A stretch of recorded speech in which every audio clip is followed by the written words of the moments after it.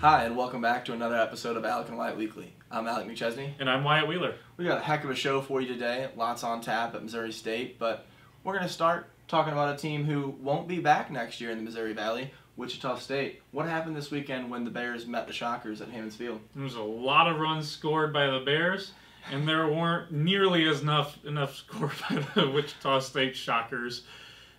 Missouri State killed them. I- This- I mean- with a sweep. Uh, 33 to 10, they outscored them all weekend. There was really none of the games even felt like Wichita State had a chance. I'm banking on Wichita State wanting to not come back to Hammons Field after Oh, that. definitely not. That was a tough weekend for them. But the more important thing isn't how bad Wichita State played; it's that Missouri State improved to nine and zero on the on, on the year in the Missouri Valley.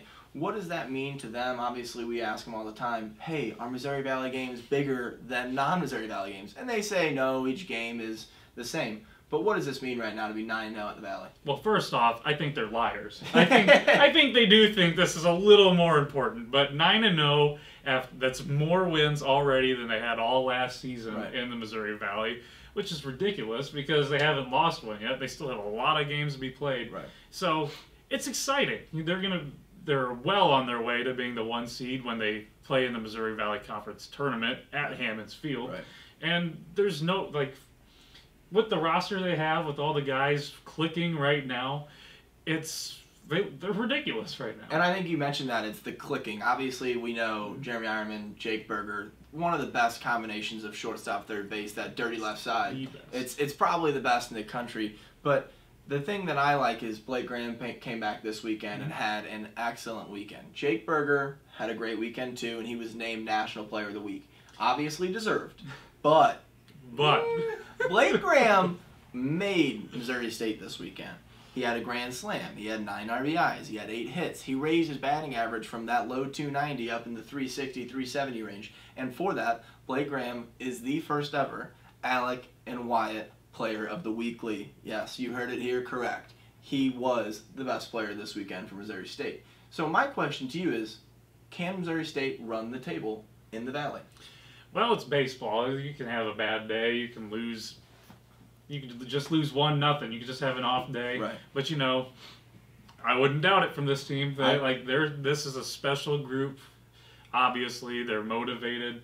They're pro- they're probably an at large, even if they Yeah. even if they somehow don't win in the tournament. But it's it's a special year for Missouri State I think, baseball. I think if their pitching can hold up, they just have so much hitting. Oh. Obviously, Paulson's had an incredible year too, but with Blake Graham getting going, if he Mhm. stays hot, the whole group, Hunter Steinmetz's leading Aaron off. Myers Yes, he's on, on, fire. fire. I we can't say enough about how good they are right now, but you know, in a few hours they're going to take on Mizzou. Obviously, last week uh, beat Mizzou five to three. This week they have them at home, where Springfield's college team, as Jake Burger will say, is Missouri State. It is. I thought it was. Oh, Yeah, exactly. the billboard tricked me. I thought it was Mizzou. and, and that's the thing. And Jake Burger did say that one of the reasons he's so excited about this game is because Springfield's going to show out for him. What do you think happens against Mizzou tonight? Like, what do you think going on in that game?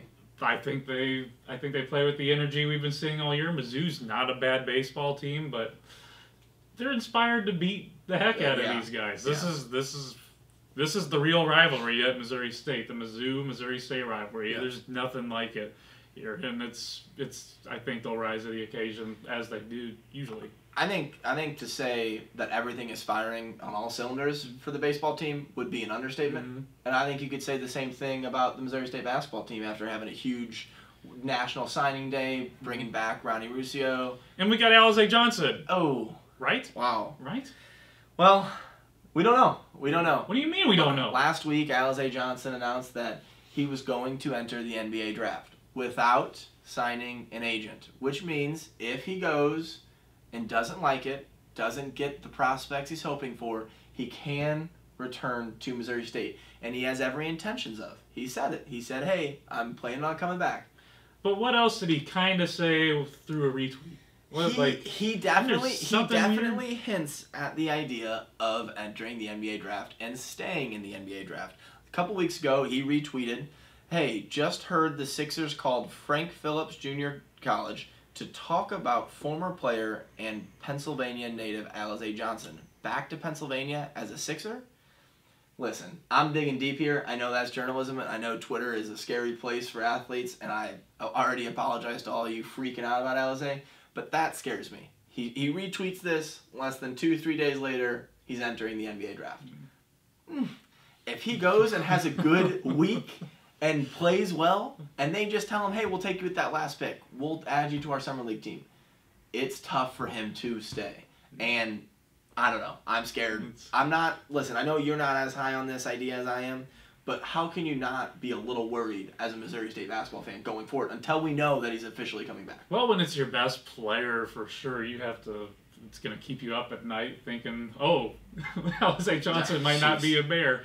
But I'm not too worried about it at the moment. I mean, it's kind of a little thing like, oh, this guy's head's not with the Missouri State program. He's thinking more to his future. Right. But I think. I think he really means that he has the intentions of coming back. He's going to get some really good information Right. when he goes and test the waters, as they put it. But And I think and that, that is a new thing in the NBA. You can go, you Mhm. deal with the scouts and some of the coaches, and they tell you what you need. Mhm. This is also a good thing for Missouri State as the basketball program because you're you're showing other recruits, hey, we send guys and they come back, stuff like this. But I just think another thing is with Ronnie returning and all of the momentum coming, it would be a strange time for him to leave. So that's the reason I'm kind of holding out a little bit of hope that he is coming back. especially when they're considered the favorites in Right. the Missouri Valley. Yeah. So that's that's worrisome. But Well- let's let's talk about some other draft news. so it's like we're talking about the NBA and Thursday's the NFL draft. Yeah. Does Missouri State have somebody? No, they could. Wait, they do. They do. Dylan, Dylan Cole. Dylan Cole. Is he gonna go Thursday, Friday, Saturday? The first round? No. No, no, no. The second or third round? Probably not. I know Steck said he would like to see it. It's it's a dream, but Right. he's a Missouri. He's he goes to Missouri State, Right. And it's like I know Carson Wentz went number two overall, Right. but you know he's he's good. But Yeah. Dylan Cole's pretty good too. But this is he's a little short for the for to be like a number one prospect. Right. But I think he should go on. I think he should go on a Saturday pick. Yeah, I know that right now they have him in that early seventh round range, but we think he could even go as high as that late 5th Mhm. round, definitely early sixth. You know, we talk about all the time. Dylan Cole's one of those guys who can make any tackle, and he has every physical attribute. Mhm. Obviously, the pro day. What did he show at the pro day? I mean, he could he could Show play that he showed that he was stronger than every man in the world, and he could out jump Odell Beckham Jr. Which Literally, I thought I thought yes. Odell Beckham Jr. could out jump everyone in the world, Exactly. but Dylan Cole can now. And and the other thing is is in that late round area, Mhm. you're looking for a guy who has all of the intangibles. Mm-hmm. So he needs to have his head on straight. He needs to have good character. He needs to be motivated. That's Dylan Cole. You know, that's Oh, yeah. the definition. We talk about how he could be a perfect special teams guy. Mhm. That's the definition of a special teams guy, in my opinion. You have to be ready to go make that tackle. You're never gonna have to convince Dylan Cole to No. go tackle And, somebody. and I think he's per- I think he has the perfect build for it too. Yeah. He's fast. He's faster than what you think he'd be. right. He's shorter. He can get under those blocks, get get his pad level below the others, Right. and run down there like a crazy wild man and make the tackle. Yeah, I think it's pretty safe to say that he is gonna get drafted. And if he weren't, if he was not drafted, He'll be picked up. He'll be picked up seconds. instantly, yeah, and I think-. And no matter what, this is a big day for the Missouri State football program. I think it'll be cool because we'll be at the spring game, yeah. and there's a chance that he could be drafted Right. while we're there. Right. And it could. And Steck told me that he'd like to hear it over the intercom. Yeah. And on, on Saturday at noon, there is the spring game, which obviously is another big thing going on at Missouri Mhm. State right now. A lot of quarterback controversy, some new options that are going to come in. And there's a lot of excitement going around the Missouri State football ground after two down years. Dylan Cole has a lot to do with that. So that's exciting. What else is exciting? Well, I am going to introduce you to the editor in chief of the Standard next year, my co host, Wyatt Wheeler. Here he is. Which means we have a vacant spot in at sports editor. So, uh, would you like to be it? I listen. I guess if you, I guess so. I, if you guys will have us for another year, we would love to come back. Unfortunately for you, that means you're gonna have to deal with Alec and Wyatt Weekly for a whole nother year. That means so many more weeks of us and the Alec and Wyatt player of the weekly, which is Mhm. gonna be a new thing. Which is an honor. yes, it will. It's it might. a- you might not know honor. it yet, but it will be It's a huge thing. every week. Everybody wants it.